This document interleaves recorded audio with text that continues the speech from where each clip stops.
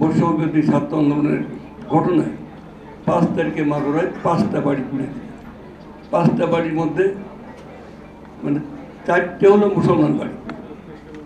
শেখরের বাড়ি, এমপি ছিল, সাকিব আল হাসানের বাড়ি আর একটা ছাত্রলীগের সেক্রেটারি বাড়ি আর একটা কার বাড়ি আর বীরেন সিকদারের বাড়ি।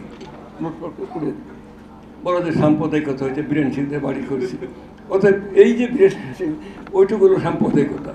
অতএব এই যে সাম্প্রদায়িকতার রং চং আমাদের দেশে হোক আর পার্শ্ববর্তী দেশেই হোক, যত সাম্প্রদায়িক ঘটনা হয়, তত সাম্প্রদায়িক এই যে দাঙ্গা হয়, এখানে আমাদের দেশে সাম্প্রদায়িক দাঙ্গা আমরা দেখিনি কখনো।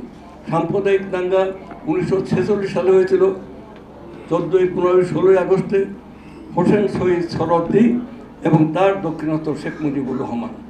এবং তারা ক্যালকাটা ম্যাসাকার যখন হয়, এখানে আপনার নোয়াখালী থেকে যত সেই মানে ট্রেনগুলো যাচ্ছে, শাখা ভাঙা এবং রক্ত, এই সাম্প্রদায়িকতা ছিল পরিকল্পিতভাবে সৃষ্টি করা। এটা আপনারা যারা ইতিহাস জানবেন, তারা তারা দেখবেন। আমাদের বক্তব্য হলো যে আমরা এই সাম্প্রদায়িক সম্প্রীতির দেশ, আজকে গভীর ষড়যন্ত্র হচ্ছে বিনিষ্ট করার জন্য।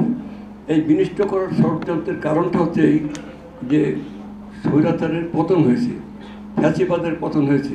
আমি সেদিন বলছিলাম আমাদের আরেকটা অনুষ্ঠানে যে এই যে বৈষম্যবিরোধী ছাত্র আন্দোলন এবং যে অভূতপূর্ব যে বিপ্লবী গণ অভ্যুত্থান ঘটল ছাত্র জনতা, যেটা যেটা পাঁচ তারিখে এই এই সময় যে দ্বন্দ্ব তৈরি হলো, সে দ্বন্দ্ব ছিল ফ্যাসিবাদের বিরুদ্ধে সমগ্র জনগণের দ্বন্দ্ব। এটা হলো বাংলাদেশের ফ্যাসিস্ট শাসক গোষ্ঠীর বিরুদ্ধে, ফ্যাসিস্ট শাসকদের বিরুদ্ধে, চরম স্বৈরাচারের বিরুদ্ধে সমস্ত জনগণের দ্বন্দ্ব। এ দ্বন্দ্ব এবং সাম্প্রদায়িক দ্বন্দ্ব ছিল না। অতএব সাম্প্রদায়িকতা বাংলাদেশে যারা পরপরই যারা মানে আতঙ্কিত হয়েছিল, তাদেরকে উদ্দেশ্য করে বলেছিলেন যে আপনাদের ভয়ের কোনো কারণ নাই।